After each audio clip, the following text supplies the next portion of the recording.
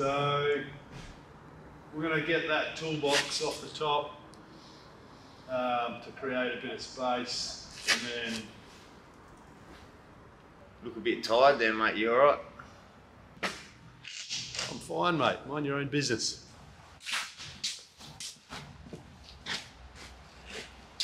Jesus, cranky day. After everything that's happened to him, he's not usually like this.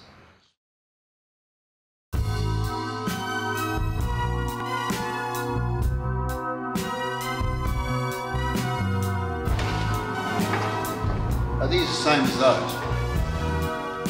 Work it out yourself.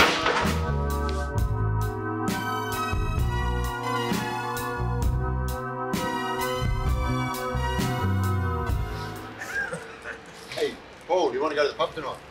No, I've got stuff to finalise. I can't. See you later, Paul. Oh, hang on, boys.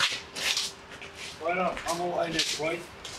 I'm out of town, so here's a list of stuff to do next week. Where you going? What does it matter to you? I bet he's going to Bali.